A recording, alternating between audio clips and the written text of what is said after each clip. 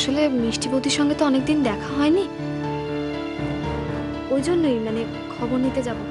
আর টিনা টিনা ওর জন্য খুব মন কেমন করছে? শুধুই কি সেটা নাকি অন্য কোনো দরকার আছে তো অন্য কি দরকার হবে? বললাম না দেখা করতে যাব।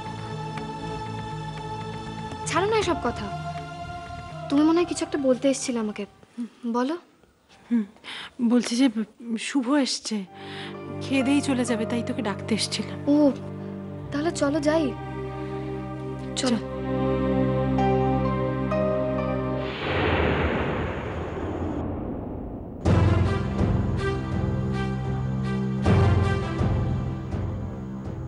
আমাদের অপুর বিয়ে দুষ্টুর সঙ্গে ঠিক হয়েছিল।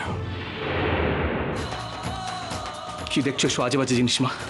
কেন? জিনিসটা ওগুলো ওগুলো আমায় দে। আমি আমার কাছে রাখব। কি করবে তুমি এই জিনিসগুলো নিয়ে? কি করবে তুমি মা? এই জিনিসগুলো তোমার কাছে রাখার কোনো প্রয়োজন নেই। কোনো বুঝিস না। ওগুলো আমার ছেলের ছবি। আমার ছেলের ছবি আমি আমার কাছে রাখব। তার প্রয়োজন অপ্রয়োজন কি আছে? আমায় দে। আমার অন্য অনেক ছবি আছে মা। তুমি সেইগুলো দেখো।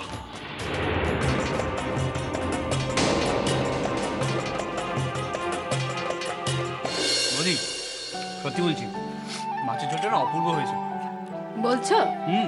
তাহলে তো ভাই আর একটা মাছ তোমাকে নিতেই হবে। হুম না না না না এমনিতে বেশি হয়ে গেছে বলি বেশি হয়ে গেছে মানে তুমি কি এমন খেয়েছো যে তোমার বেশি হয়ে গেল এর মধ্যে? পেট ভরে গেছে আমি। না। আর- বড় একটা মাছ দাও আমি বলছি তুমি দাও। না না দিদি আমি সত্যি কথা বলছি হবে না। আমার- পেট ভরে গেছে। কিরে দুষ্টু না বল না বলছি তো পেট ভরলে তো হবে না একদম গলা পর্যন্ত খেতে হবে না হ্যাঁ, তোমাকে কি করে ছাড়বো দাও দাও দাও। মাথা গেছে। পড়ে গেছে খেয়ে। হ্যাঁ, এবার- দিয়ে দিলেন। জানি না গো আমি তোমার কে হই? এই পাড়াতে যে চায়ের দোকানটা আছে না ওখানে গিয়ে জিজ্ঞেস করো সে তোমাকে বলে দেবে আমি তোমার কে হই? না না অত জিজ্ঞেস করতে হবে না। বলছিলাম তুমি তো আমার স্ত্রী মানে অর্ধাঙ্গিনী। যখন অর্ধাঙ্গিনী তখন অর্ধেক মাছ তুমি খেতে পারো। ভালো লাগে না এটা ঠিক হচ্ছে না। একদম ঠিক হচ্ছে না। দুষ্টু এখন দুষ্টু এখন শুধু আমার সেই দুষ্টু নয় ও এখন রূপুর বউ আমার ছোট ভাইয়ের বউ। ওকে নিয়ে এখন আমার যে কোনো ভাবনাই অন্যায়। দুষ্টুকে ভুলে যাব আমি আমি দুষ্টুকে ভুলে যাবই। ভুলে ওকে আমায় যেতেই হবে। ও তাই বল ছেলেটাকে মায়ের খুব পছন্দ হয়েছে। হ্যাঁ বর্দি ভাই আসলে ছেলেটা তো ভক্তি ভরে প্রণাম করছিল মায়ের সেটা দেখে খুব ভালো লেগেছে। আর ছেলেটাও তো মায়ের সঙ্গে অনেকক্ষণ গল্পও করেছে। সেই কারণে বোধহয় মা আবার ওই বাড়িতে যেতে চাইছে। আচ্ছা দুষ্টু ছেলেটার কি খবরটা কেমন আছে? ভালো আছে তো। ওর বাড়ির লোকের কোনো খোঁজ খবর পাওয়া গেল? না এখনও তো কোনো খোঁজ খবর পাওয়া যায়নি। তবে ওরা সবাই মিলে খুব চেষ্টা করছে। তুই এই চিঠিটা ঠিক কোথায় পেলে তুমি? মা বাইরে যাচ্ছে দেখে আমি মায়ের সাথে দেখা করতে গেছিলাম। গিয়ে দেখি মা রুমে নেই। আমি ভাবলাম বাথরুমে আছে। সেখানেও গিয়ে দেখলাম মা সেখানেও ছিল না। আমি ঘর থেকে বেরিয়ে আসছিলাম দেখি টেবিলের উপর কাগজটা চাপা দেওয়া আছে।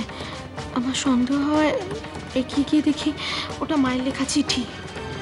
মা যে চলে গেছে এই ব্যাপারে তোমরা কনফার্ম হচ্ছ কি করে? হুম মিস্ত্রি আমি মায়ের ঘরে গেছিলাম ওখানে গিয়ে আমি চিঠিটা পেয়েছি। চিঠি? বুবাই পর্দা চিঠিটা। স্নেহের বুড়ো আমার পরেই সংসারে তোমারই স্থান। তাই চিঠিটা তোমাকেই লিখলাম।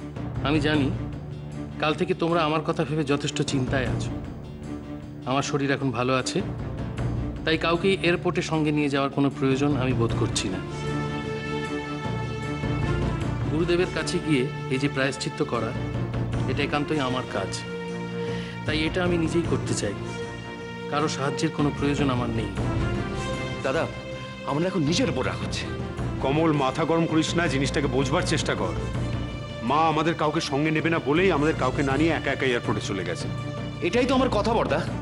এদিকে আমরা মায়ের জন্য চিন্তা করে মরছি, আর মায়ের কোনো পরোয়া নেই। না, বর্দা, মা কিন্তু এটা ঠিক কাজ করেনি।